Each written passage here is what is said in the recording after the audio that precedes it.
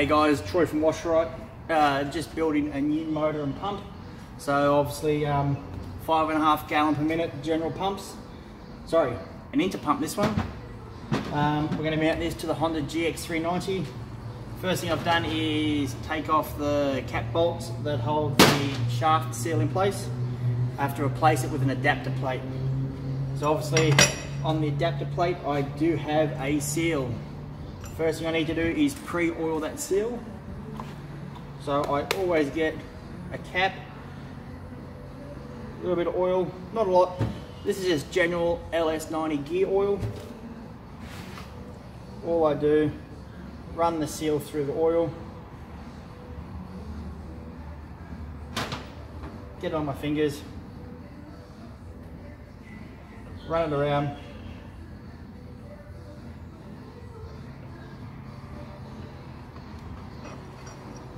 Need to make sure that the seal's in there firmly. Don't be afraid just to lube up the outside. Now if you don't lube up the O-ring, the O-ring will deteriorate a lot faster. Obviously that goes on. Okay, so in with the um, reduction box kit comes with these new bolts, with these washers with O-rings in them. Slip them on. I do need to get some Loctite.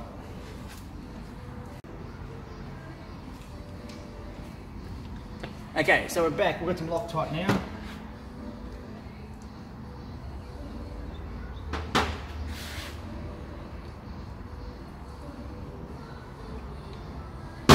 Let's try the other tube.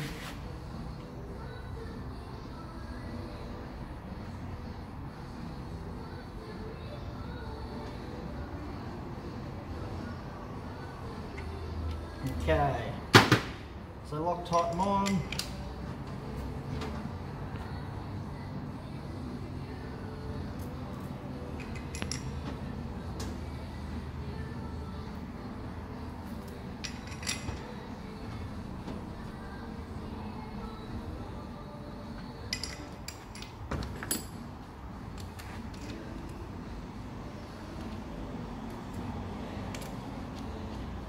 important that you do them, when you do them up, do them up in stages, opposite each other.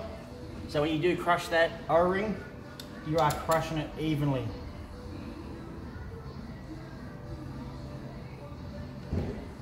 Okay, so that's one stage.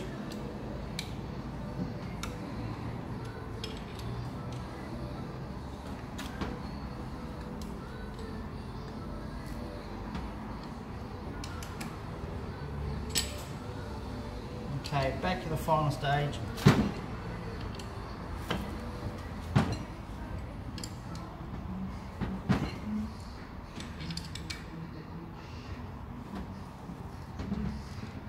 Okay, that's the adapter plate. The next one is actually the drive cog. As you can see, it has a small hole. That small hole is for that grub screw, which locks it in place. Again, very important, that grub screw is liberally used with Loctite.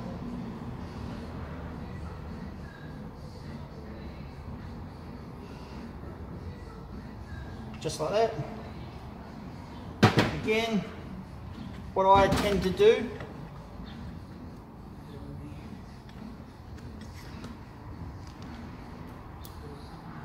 I would tend to start the actual grub screw in there to start with and slide it down in one go.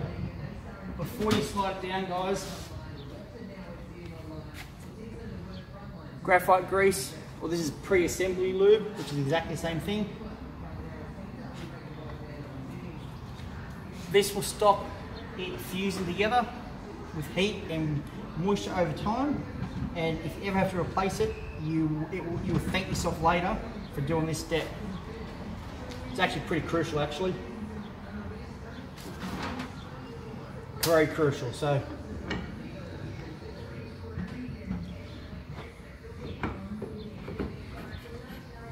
lower that down. Gear up the grub screw. Okay, a little secret with the grub screw, once you've done that by hand,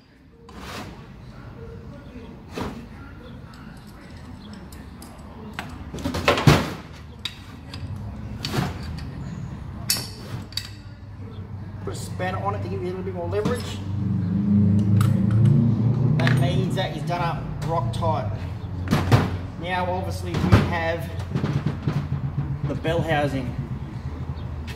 The bell housing has a groove around there and that is where this O-ring seats and seals. Um, I like to put the O-ring around here. So what I normally do, a little bit of oil the around.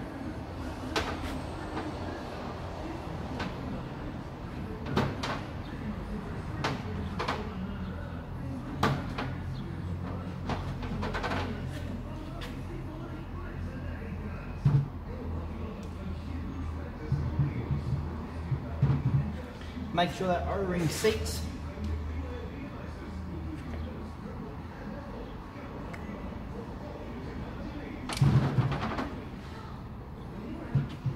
Again, keep your O-ring lubricated. You'll thank yourself later for that. Now, what's important is how are you going to clock this pump? So for me, it is important that this pump goes that direction.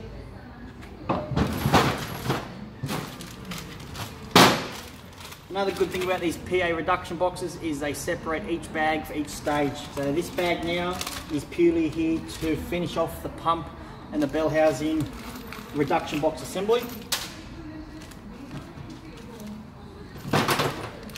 Okay. So again, we got four cap bolts with these are conic conical washers help lock it in. These need Loctite as well guys.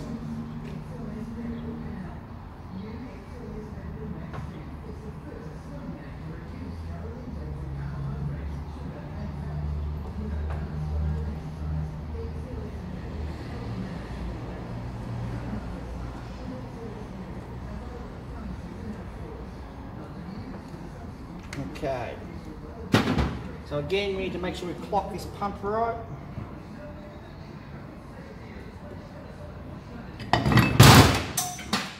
Not like that.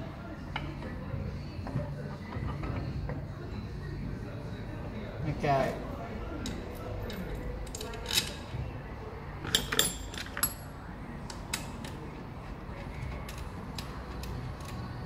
Okay.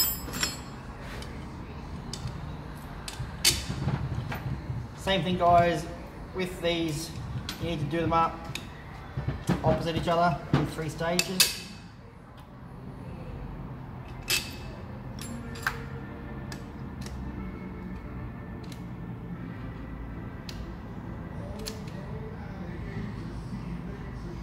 And what I've noticed guys, these pumps used to have a hole.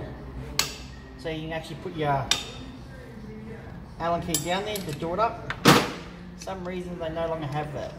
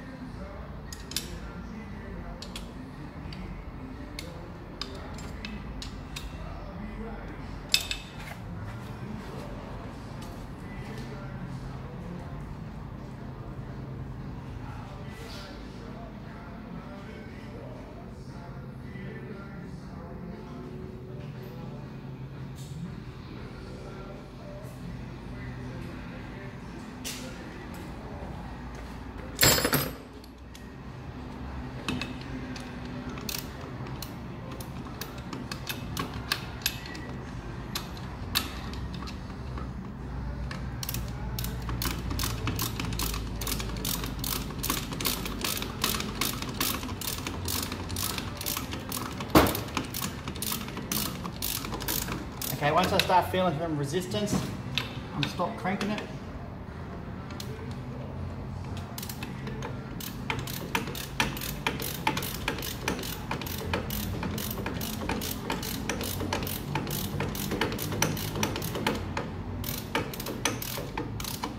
Okay, a little bit of resistance. I'll leave that there. Crank that one. Crank that one.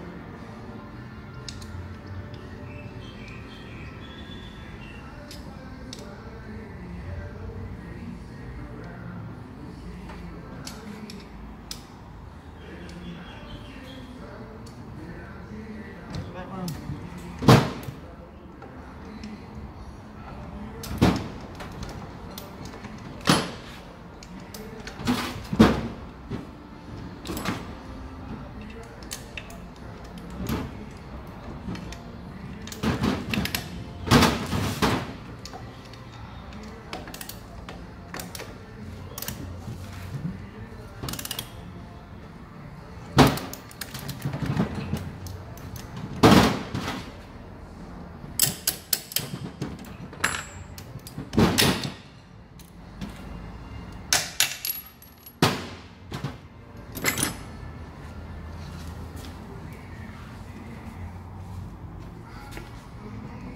Okay. Obviously, sump plug guys goes on the bottom.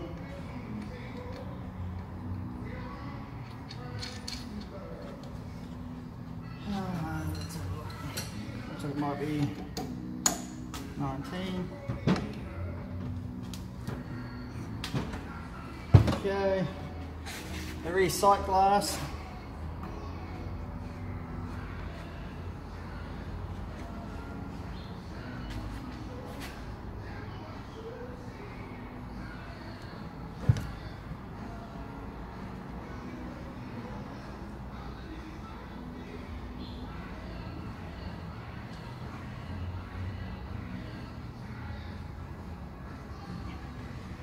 With these uh, polymer sight glass guys, you really should do them up by hand. They do strip pretty easily.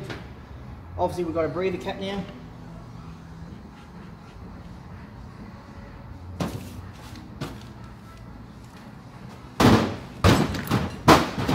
That's our pump and reduction box guys, mounted together. Now we need to mount it to the engine. This zip tie literally is just there to um, hold the keyway on.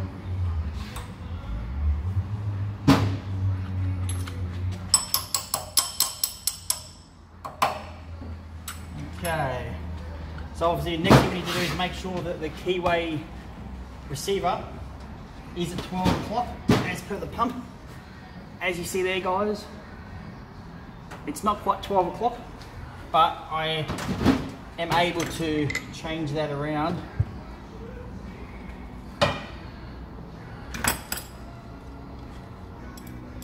pretty easily.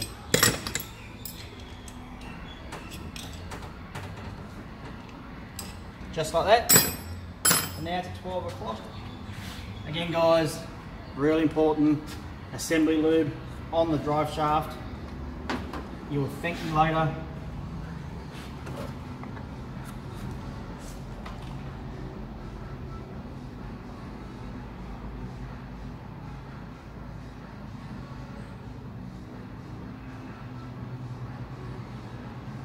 Had a guy in my videos um, call me a idiot because I put the assembly lube on. He was trying to tell me that whenever you service the engine, you should be taking the pump off and uh, checking the shaft for rust, and then cleaning the shaft up, the shaft up with some sandpaper. Um, I think that guy needs an uppercut. If you're dumb enough to take the pump off for every service, you're an absolute fool. Okay, guys, so we need to get this pump to this drive shaft.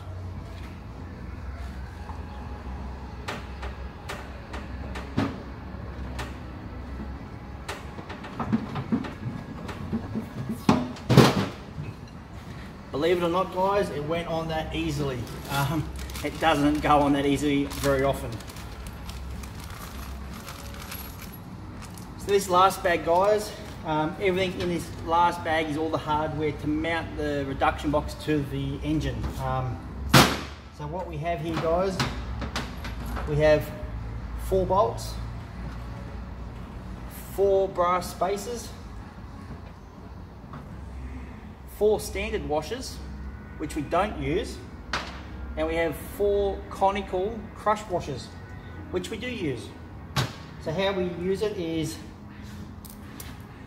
the conical crush washer, hold it up there, goes on. The spacer goes between the reduction box and the engine to pull it off the engine a little bit.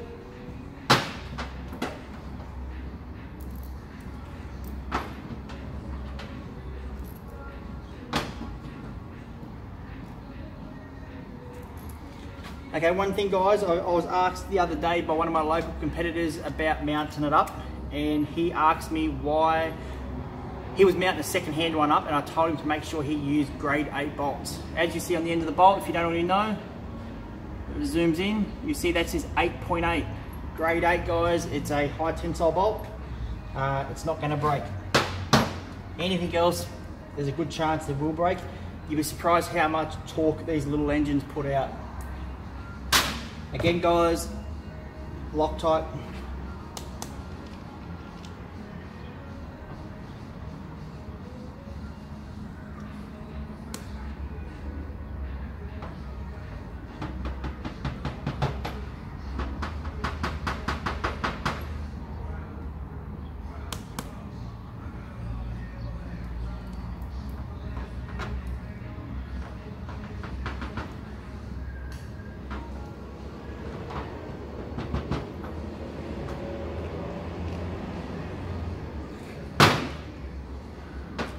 Okay, so we need the spacers.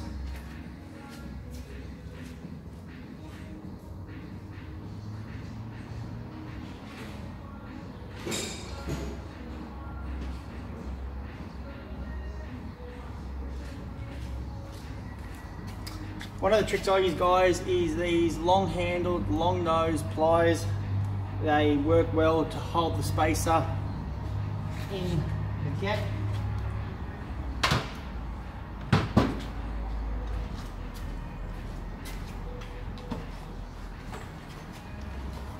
just a box of bolts guys I use to um, prop up the engine and pump.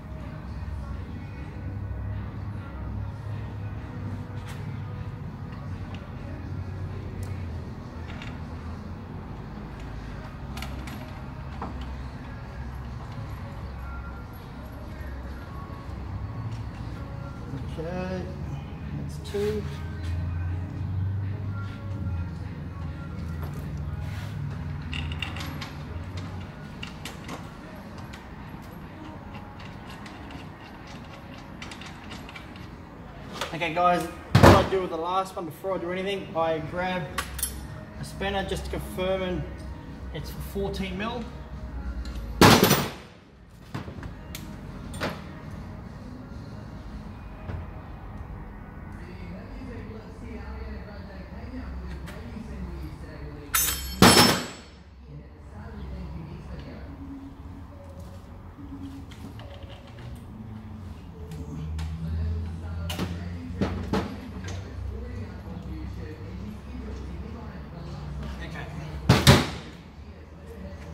So that one's in there.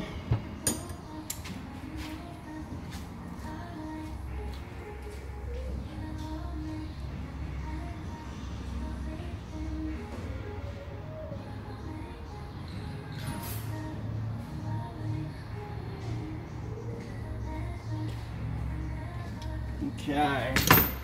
Just to make things easy, guy ratcheting wrench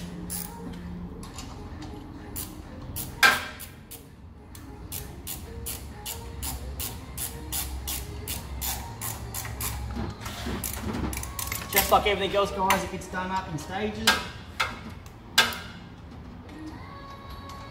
This is not so important to worry about getting it done, tighten it up diagonal from each other. We're not actually worried too greatly about any O-rings.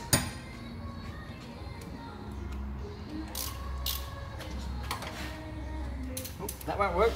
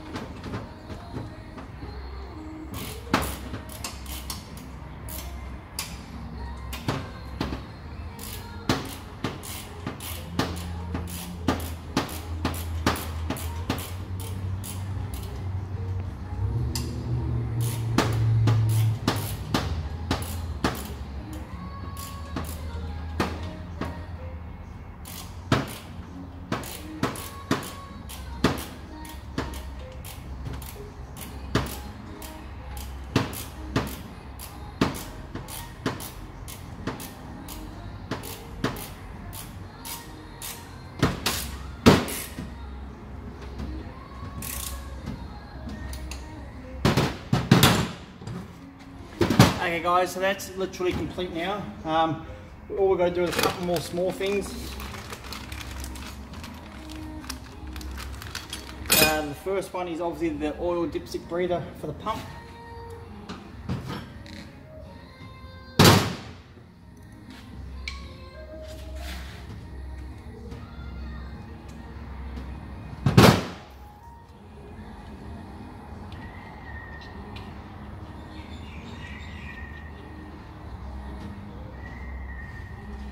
Now you guys in the States use these all the time. These are actually mounting brackets for the pump. Um, we don't use them.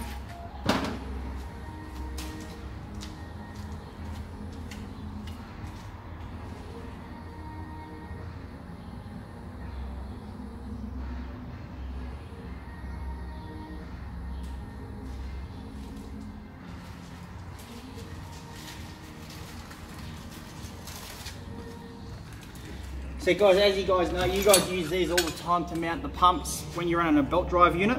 Um, we don't. We don't run very many belt drives. I have one belt drive unit. Um, so a lot of you guys in the States run your pumps that are mounted and the pumps just free hangs out there. There's no support. Um, pretty reckless and pretty stupid as far as I'm concerned. The vibration of all that weight on these mounting bolts in here what I recommend you guys buy is one of these. It's literally just a threaded rod with a flexibly, you know, foot. And basically whatever plate you mount it on, you drill a hole, you drop this through the hole, do a nut in the bottom to hold it at the right height, and the pump just literally sits on it and it supports it. Great idea guys, they're cheap as chips. So that's how we mount these. Um, so yeah guys, that's one motor and pump completed what I'll do in the description below, I will put the model numbers of the pump, the reduction box and the engine and I'll also put the link to one of these. If you guys need any information about where you can get this stuff from, just ask, I'm always happy to help. Don't forget to like and subscribe to get the further videos coming. If you have any questions, just ask. Have a good afternoon guys.